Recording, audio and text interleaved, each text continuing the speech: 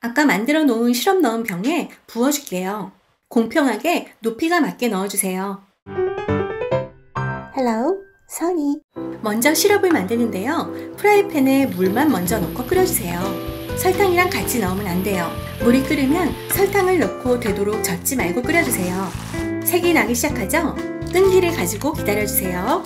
이렇게 흔들어서 전체적으로 이런 색이 나면 불을 끄고 그릇에 담아주세요. 뜨거우니까 스테인리스 그릇이 좋아요. 병에 이렇게 만든 캐러멜 소스를 2mm에서 3mm 정도 부어주세요.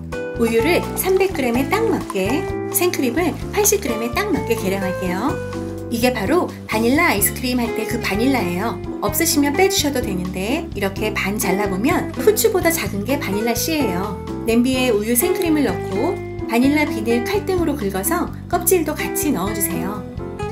거품기로 한번 저어준 다음 막이 생기기 전까지만 살짝 데워주세요. 계란 하나는 그대로 사용하고 노른자는 두 개 사용하는데 이런 게 있으면 편해요. 달걀을 먼저 잘 풀어주세요. 설탕을 넣고 한 방향으로 섞어주세요. 여기에 데운 우유와 생크림을 넣고 잘 저으면서 섞어줄게요. 그리고 체에 한번 걸러줄게요. 아까 만들어 놓은 시럽 넣은 병에 부어줄게요. 공평하게 높이가 맞게 넣어주세요. 바트나 좀 높이가 있는 팬에 물을 넣어주세요. 중탕으로 익힐 거거든요. 쿠킹 오일을 잘라서 입구를 막아줄게요. 이제 150도에서 160도로 예열된 오븐에 40분 정도 중탕으로 구워줄게요. 부드러운 계란찜처럼 익었죠? 이렇게 해서 완전히 식힌 다음 뚜껑을 덮고 냉장고에 넣어주세요. 포장도 한번 해볼까요? 친구 집에 놀러 갈 때 아이들 선물로 좋거든요. 유산지를 잘라 얹고 리본으로 묶어줘요. 간단하죠?